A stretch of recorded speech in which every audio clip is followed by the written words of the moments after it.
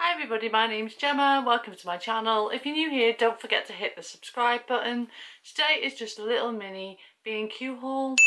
Um, I needed a couple of things for my bedroom from B&Q. Um, one being a rug and the other one being a lampshade, you know, for the big light in the bedroom. Now for ages and ages I've been without a big light in my bedroom. Um, I don't know if other people call them big light, ceiling light, um, the main light in the bedroom. I've been without one um, because something happened. I had quite a heavy, heavy lampshade on it and something happened and the whole like fitting fell off. So it took me ages to get organised to fix it. And I've now got it fixed and um, so I decided to treat myself to a new lampshade and I'd seen all these like feather ones on Instagram and like really like the look of them. I wasn't quite sure where I could buy one from and then I discovered that they sold them in B&Q. They also sold them in Dunelm. Um, the Dunelm ones were like £5 dearer for the larger size so I went with the B&Q one and I'm glad I did now because it's really super nice. Um, it's just a big round puff ball of feathers. Um, hopefully they're all not going to fall off. So I'll show you the rug I got first. The rug I got, oh, it's just this big cream rug um, and it's in the style. Quite heavy to hold up.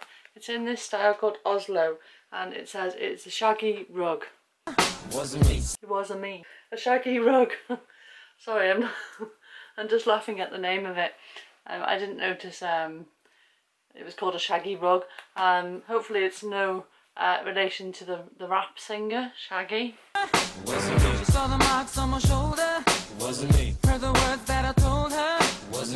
Like they've got it shown by a fireplace. It's really nice and soft and shaggy. Yeah, I hope it's going to be like a nice addition. I've got wooden floors um, and they make a bit of a noise sometimes when things are dropped on them. So I decided a rug would sort of combat, um, you know, any anything nice to put your feet on. I'm just going to lay it out next to the bed. So here's the big um,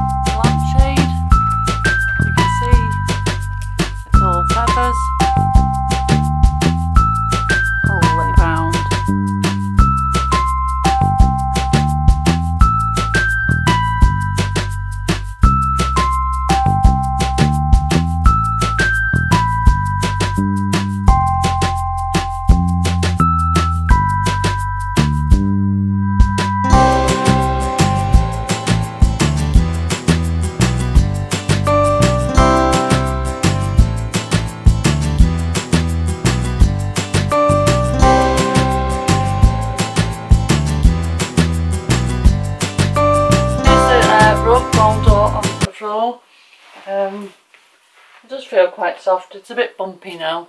Hopefully this will settle down in the next couple of days. Apparently it will.